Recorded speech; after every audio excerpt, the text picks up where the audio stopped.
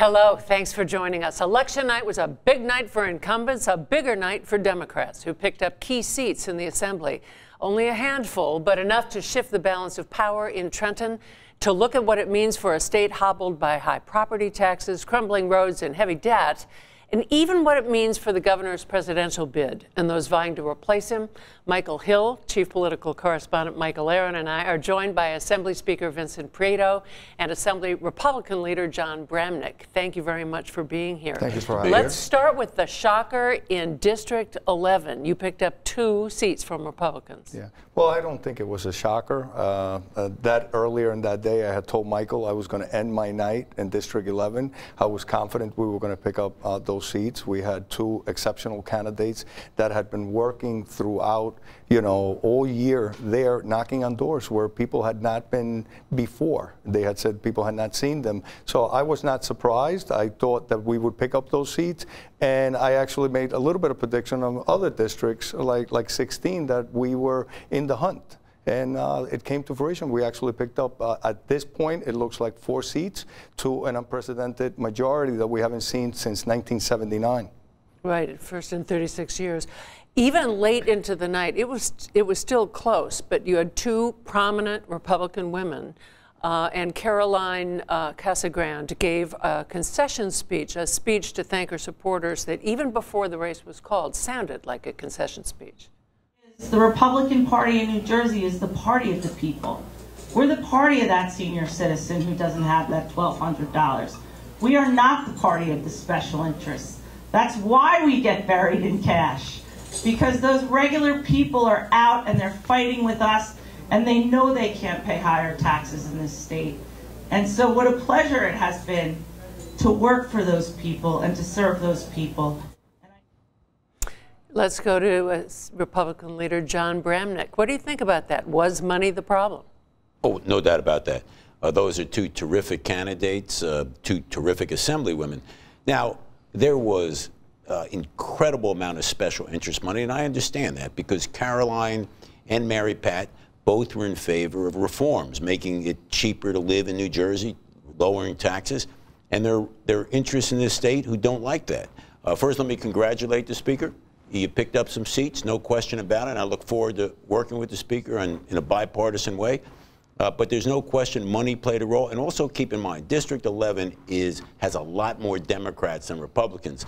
So it's not a shocker, uh, but it is unfortunate because I think these are two terrific women. You say it has a, you say it has a lot more uh, Democrats than Republicans, but you have to go back 20 years into the 90s to remember a time when it was ever represented in the assembly by Democrats. Dan Jacobson was one of the two at the time. Sure. They lasted two years, and then the district switched to its natural Republican uh, state, and now, for the first time in 20 years, it's going back to the Democrats. Sure, Michael, but you're also aware that a midterm election, when you have a second-term governor, is where the legislative uh, the legislature normally loses seats. So you had a combination of incredible amount of money, uh, special interests were very upset about the Republican reform agenda. I get that. We lost. Uh, I, I get that in District 11. But our message is not going to change with respect to, hey, we need to affect property taxes in this state, and we need to make it more affordable. But, but, sure. but, uh, but, Jon, you, you can't have it both ways. You said that money was spent. Money was spent in the second district from, from outside interests or whatever, Brown still won in the 16th district. That wasn't the case. We are up on one seat there to pick up a seat, and we were knocking on the door on the second seat. So you can't do that because that money was not there, and that was almost done with duct tape and crazy glue. So I got to tell you, the voters came out, and you have districts like uh, Michael Patrick Carroll won by 2,000 votes in his district. So you look at the landscape. People like what Democrats are doing. We're representing the middle class that has been crushed under this administration, Jon. And that's where this what this is all about. It's a referendum on who's going to do the right thing for the residents of the state of New Jersey. Well, these are very district-specific races. But look, uh, I still accept the fact that you picked up some seats, but uh, still, they've never really defended how the state got so expensive over the 13 years where the Democrats have controlled the legislature. The bottom line is we need to make serious reforms. The question is going to be, Will the Democratic leadership accept the kind of reforms that we need with changing the school funding formula, with saving the pensions by, by making certain changes? But look, that's going to be a Jon, debate down the road. Of course, that's a yeah, debate. Sure. The funding formula, if you fully fund it, your district mm-hmm. would actually benefit. All those underfunded districts would benefit. And I got to tell you, you talk about during the 13 years that we've been in power, I can go back to 1997 when $2.8 billion were borrowed. We're still paying for that till 2029. In 2020, it'll be 507 million a year all the way. So we, guess what? We, that was Republicans. The, the so, important thing is, the bill just run. Go to your corners. Are, are we seeing? Are we seeing the way you guys are going to work together to actually solve the problems well, of the state? I, got, I got to tell you, we're I, talking about substance. We, we are talking about substance, yeah. and I got to tell you, from when I became the speaker, Jon will tell you, I am somebody that's always willing to compromise. When we had talked about the estate tax, Jon mm-hmm. came about it. Yeah. I was talking with the governor about that last year because you need to negotiate to get things done. I am aware that the executive branch is held by the Republicans. The, Jon has said to me, well, you have 41, you could pass a bill, but I don't, I don't want to pass a bill that is not going to go anywhere. So of course I'm going to work with them. But that doesn't mean that I'm going to be realistic and talk the truth and not talk about blaming us for the last 13 years. Absolutely not. This was a marathon for many administrations, and we inherited know, this. One, one, one of the things that, that, that probably influenced some of the outcome is no doubt money. And we're going to hear now from someone, the teachers, who contributed a lot of money to uh, to the effort here, and uh, Wendell Steinhauer with the but, NJEA. But, but, Let's listen to him quickly. We'll come back. How influential was the NJEA in this election? Well, we like to think that we uh, had a uh, force in it tonight. Uh, three Democrats uh, pick up seats in the majority.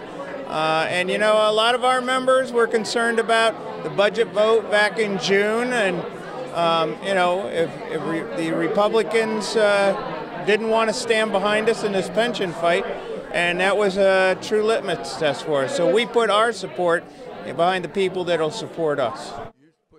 So there you hear from Wendell Steinhauer at NJEA, and this is this is the reality. I mean, you're talking about Citizens United decision by the Supreme Court, people spending a lot of money. Yeah. This is the reality. You win yeah. by the rules, you lose by the rules. And, and that's well, the rules we're playing by, and we're playing we're playing by those rules right now. And listen, the NJEA can put their support where they want, and as long as they're playing by the rules. But like I said, it's not. It, you can't talk about that when in the 16th district that money was not poured well, into that district, and we actually picked up a seat there. Versus 16th district, there's no doubt there was outside money and, and the Republicans were outspent. But let's talk about the real issue. Real. NJEA took millions of dollars, put it in District 1, never talked about education, never talked about why they were there in terms of pension reform.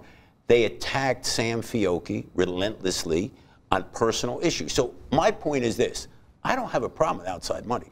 But I need the people in the media to point out yeah. why the money's there. And why is the money there? We have proposals, and we have a bipartisan commission that says in order to save the pension, we have to make some changes. NJEA doesn't like that. Yep. They came out with incredible amount of money to stop that kind of pension reform. Let me Jon, just, let me but, just, but just Jon, you're saying, Jon but, but, make your point no, quickly. But, what he's saying, the yeah. NJEA didn't run any ads there. You're making it sound like well, the NJEA. Okay, let me, gentlemen, gentlemen, let me jump. Yeah, let me yeah. jump in. The, uh, in the second legislative district in Atlantic County, uh, Chris Brown, Republican incumbent, held on to his seat, yeah. despite what he said exactly. was $4 million worth of negative ads. We spoke to him briefly this morning. Here's what he had to say. My dog was uh, uh, growling at me now and again after the ads that they were running and the things they were saying. So people saw through it and, and they took that uh, belief in me and they cast their vote for me, and it really is humbling. Mr. Speaker, he said that the $4 million in outside money was spent in that district. That's almost unprecedented in an assembly race and almost all of it was on the Democratic side. And, and I got to tell you, I can't talk about the independent money. I can tell you what we had invested there in the hard money, but I got to tell you, he won. So what was the problem in 11? So it depends who your candidates are. And our candidates were candidates that knocked on doors that people said for years had not been there. And when you had the representatives in 11 that actually had cited with the governor and not funding women's health. That was something that resonated with the residents. That had not been for property tax relief when we had suggested 20% cuts for property taxes and rebates. That had not been done. And listen, Jon, there was a referendum that they did not want those representatives. And listen, the money could be spent any way you, you want.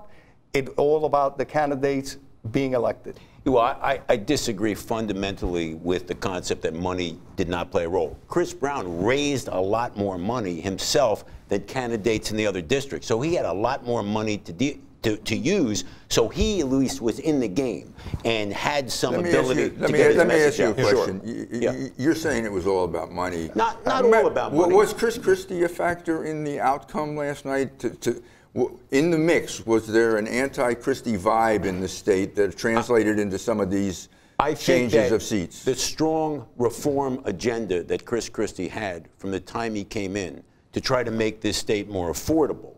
Uh, there was a reaction by public unions, I think, that was against that reform agenda, that we joined with him in trying to make some changes in this state that would make it more affordable for people to live here. So he plays a role in that. He was willing to stand up be a strong leader. And when you're a strong leader, there's strong reaction. And the rea- and some of that reaction was the special interest money not liking that policy or our policy as Jon, Republicans. I hate to Yeah. tell you, it sounds like sour Sure. grape. You're making no. this all about money.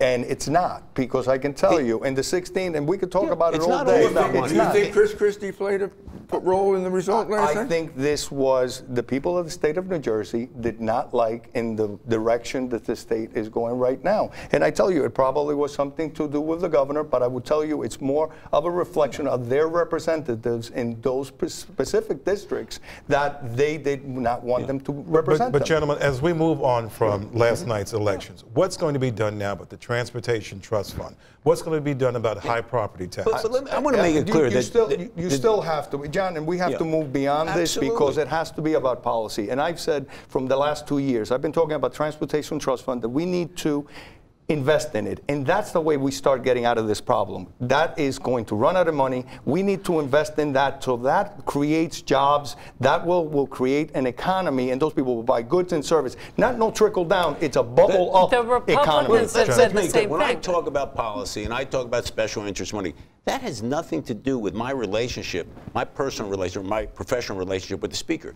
We we can work together on transportation trust fund. We can work on bipartisan reforms. So when you see this discussion, th- this is about we have different opinions as to certain issues, but that has nothing to do with our goal as two elected officials to work together. And that's what I intend to do. But so don't think somehow because we're arguing about District 2 or District 16 that we Oh, can't I, I don't think that at all. My, my, my thing is, uh, how, how does what happened last night, winners, losers on, on whatever side, how does this benefit the people of New Jersey, the taxpayers? What's going to be done about these serious issues uh, now? Well, so- the, with Asbury, solutions. the Asbury Park Press came out with a list of things that they thought should be done. They had a petition. Most of my members signed it. We, we, would- we have some reforms. We have 80 bills we'd like to get posted.